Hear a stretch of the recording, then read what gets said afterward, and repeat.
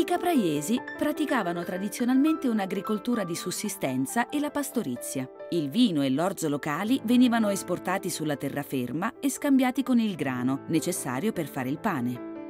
A questi mestieri si aggiungeva la pesca di acciughe, sardine e zerri, conservati in salamoia. Lo sviluppo della navigazione commerciale iniziò nel XVII secolo quando, in seguito alla rivolta della Corsica contro Genova, durata dal 1729 al 1768, la marineria corsa venne fortemente limitata dai genovesi. Gli abitanti di Capraia iniziarono così a interessarsi al fruttuoso commercio marittimo tra Genova, la Corsica e la Toscana.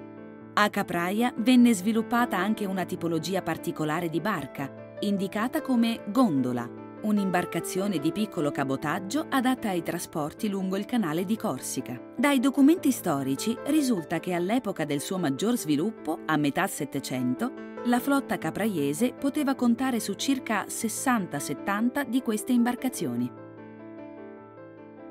Nel corso dell'Ottocento molti abitanti dell'isola emigrarono soprattutto in Sud America.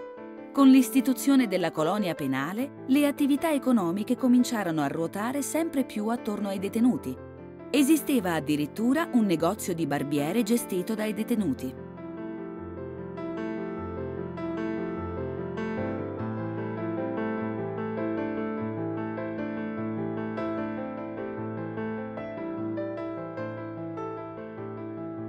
Attualmente la vocazione principale di Capraia è quella turistica che nei mesi estivi porta la popolazione ad aumentare sensibilmente.